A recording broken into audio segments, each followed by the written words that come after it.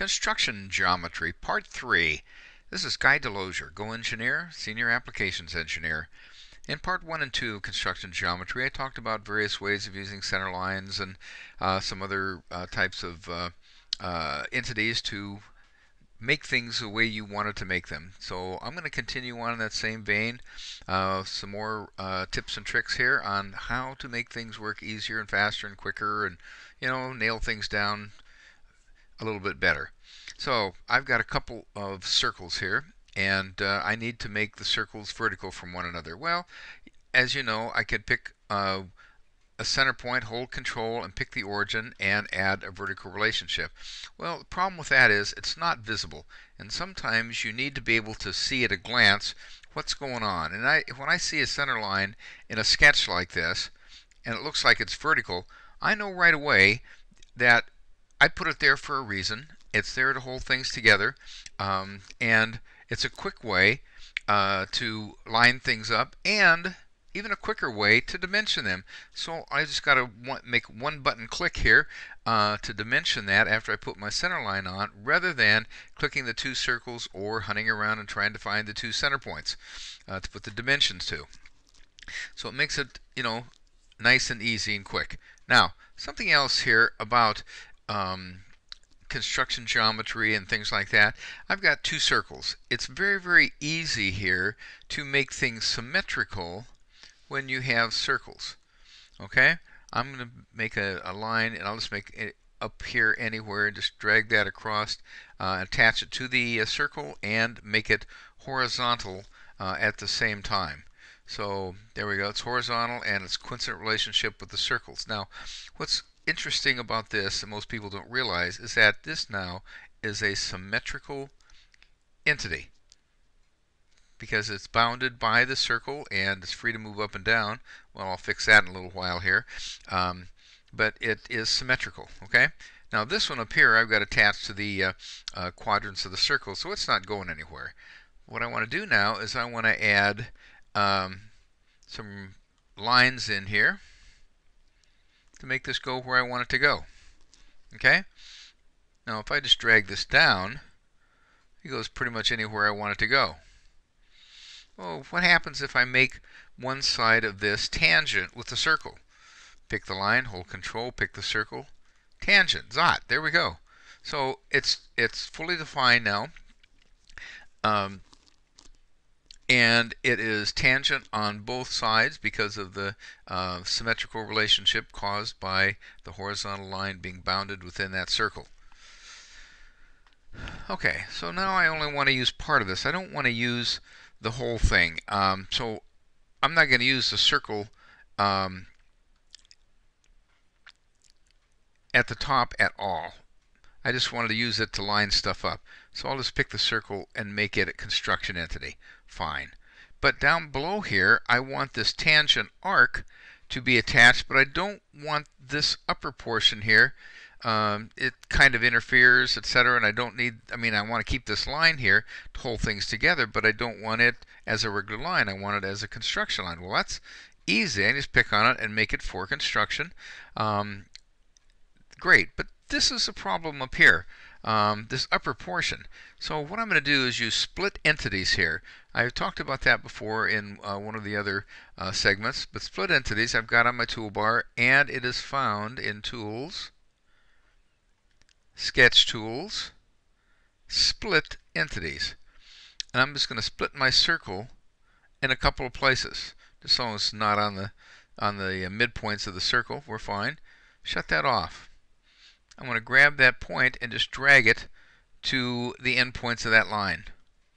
Okay, so now I've got two separate circle segments. There's one, there's the other, and that one needs to be for construction now.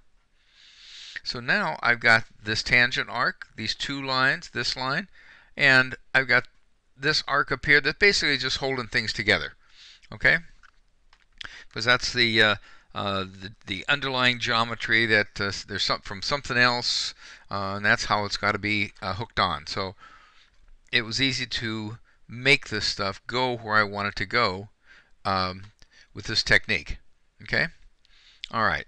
Let's look at some other things here.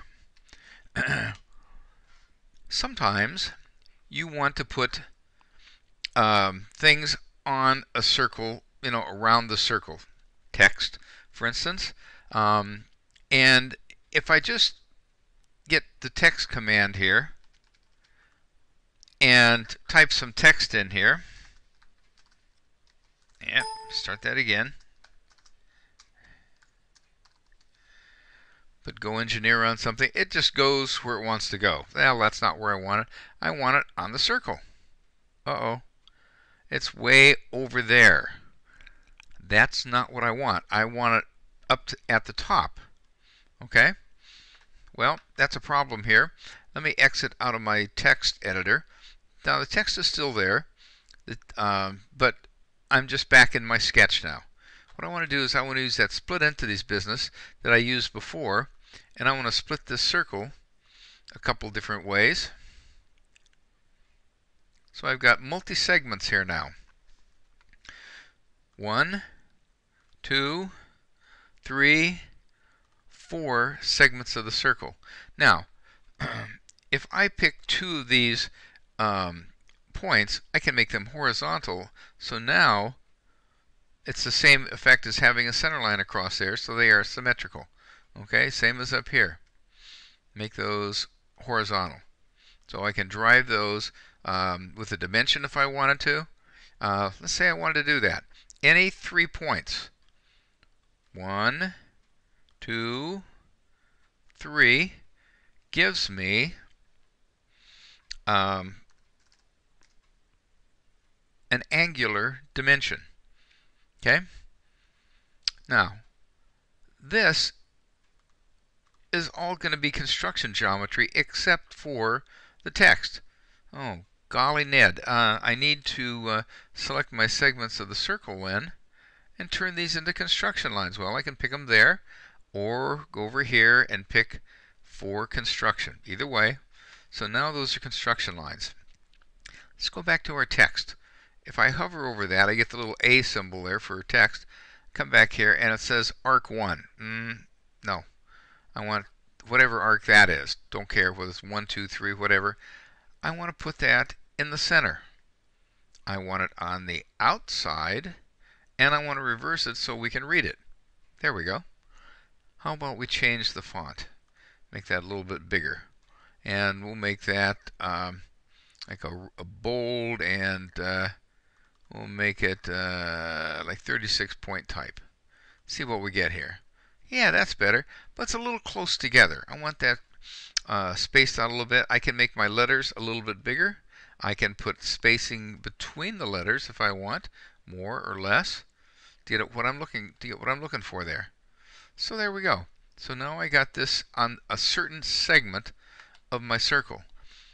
Maybe um, at the bottom I need a part number or something. So I can just say OK here and I can select this other segment of the circle um, and uh, go to text up here and type in my text. Put in a part number. 1, 2, 3, 4, 5, dash 5. Perfect. Center that. Uh, let's make it uh, bigger font. And uh, we'll make that uh, 36 type. Uh, also and bold. Okay. now, if you notice here, really, really close together. And if this gets any closer, it's going to start interfering with each other, and this won't work. So it behooves us here to space this out a little bit when we're doing this. Okay? So there we go. We got part number, we got uh, company name, um, and I can just exit out of here now and extrude or cut or whatever I'm going to do to make my um, text the way I want it. So one inch is a little much, maybe uh, 100 thou, and say OK, and uh-oh. Let's see what I just did.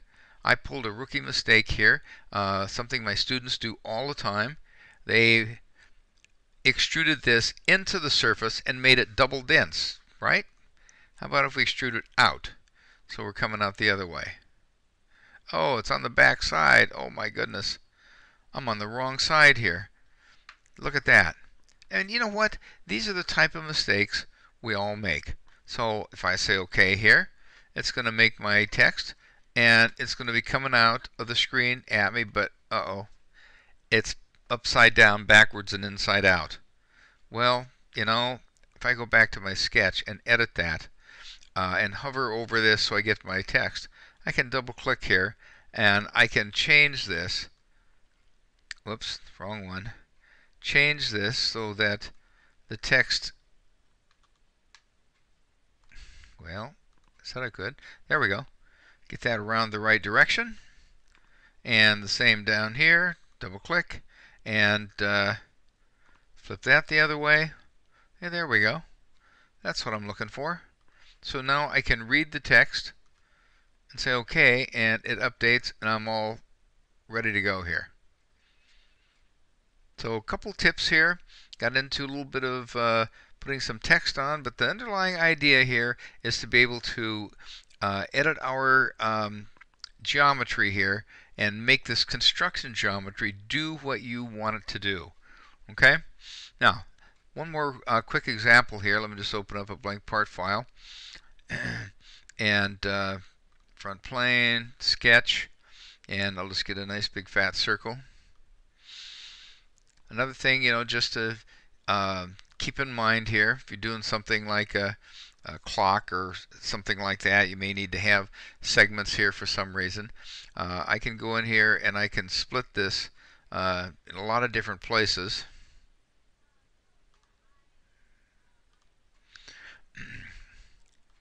Now this is, seems to be a lot of trouble, doesn't it?